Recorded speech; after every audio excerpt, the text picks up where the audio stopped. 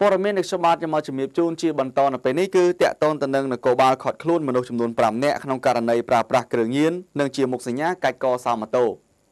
កម្លាំងសមត្ថកិច្ចបានខាត់ខ្លួនជនសង្ស័យ5នាក់ ជាប់ពាក់ព័ន្ធទៅនឹងករណីប្រើប្រាស់គ្រឿងញៀននិងជាមុខសញ្ញាកាច់កសាម៉ូតូយ៉ាងសកម្មនៅក្នុងរាជធានីភ្នំពេញបានជាបន្តបន្ទាប់កាលពីវេលាម៉ោង2និង10នាទីយប់ទៀបភ្លឺនៅថ្ងៃទី30ខែវិច្ឆិកាឆ្នាំ2017នៅក្នុងផ្លូវបេតុងនៅក្នុងភូមិអូគីដេសង្កាត់អូបៃក្អមខណ្ឌសែនសុខ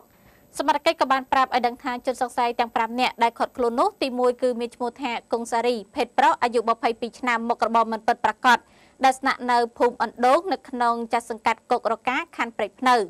ទី2មានឈ្មោះថាចាយុះវុធីភេទប្រុសអាយុ31ឆ្នាំមុខរបរមិនពិតប្រាកដដែលស្នាក់នៅបន្ទប់ជួលលេខ4នៅក្នុងសង្កាត់បឹងកក់2ខណ្ឌទួលគោក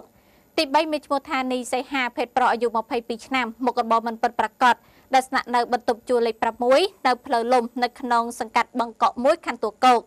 ទី4មានឈ្មោះថាពេជ្រមករាភេទប្រុសអាយុ21ឆ្នាំមុខរបរមិនពិតប្រាកដដែលស្នាក់នៅចាប់ភូមិបូរីកម្មករសង្កាត់ទឹកថ្លាខណ្ឌសែនសុខទី4មានឈ្មោះថាធីចម្រើនភេទប្រុសអាយុ20ឆ្នាំមុខរបរមិនពិតប្រាកដដែលស្នាក់នៅភូមិបូរីកម្មករសង្កាត់ទឹកថ្លាខណ្ឌសែនសុខទាំង4នាក់គឺខាត់ខ្លួននៅផ្លូវបេតុងនៅក្នុងសង្កាត់អូបៃក្អមខណ្ឌសែនសុខដកហូតបាត់ឧបករណ៍កាច់កសៅម៉ូតូនិងឆ្កឹះសៅម៉ូតូបានចំនួន2ឈុតម៉ូតូ2គ្រឿងម៉ាក Trim សង់ស៊េរីចាប់ ឆ្នាំ2015មួយគ្រឿងនិងម៉ាក Veo Alpha ពណ៌ក្រហមមួយគ្រឿង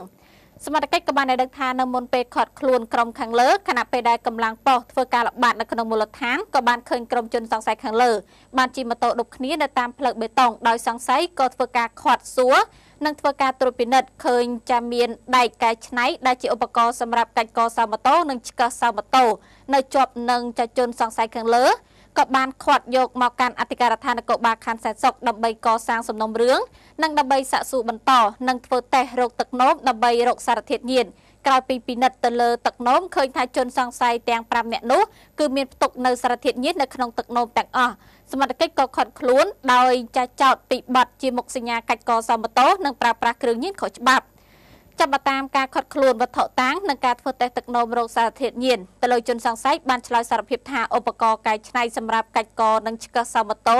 ជារបស់ពួកគេពិតមែនមុនពេលដែលធ្វើសកម្មភាពគឺតែងតែប្រើប្រាស់គ្រឿងញៀនហើយបានចេញលួចប៉ុន្តែខណៈពេលដែលជិះម៉ូតូដើរមើលមិនទាន់បានលួចផងក៏បានជួបទៅនឹងសមត្ថកិច្ចខត់ខ្លួនតែម្ដង